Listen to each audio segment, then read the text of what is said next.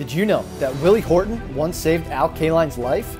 During the 1970 season, in a game against the Brewers, Kaline collided with center fielder Jim Northrup, knocking the Hall of Famer unconscious. Northrup elbowed Kaline right in the throat, making him swallow his tongue. Willie Horton ran over from left field and saw that Kaline was starting to turn purple and immediately jumped into action, separating his jaws and pulling his tongue out of his throat. Luckily for Kaline, he escaped with nothing more than a bad headache, and a day later, he was back in the lineup.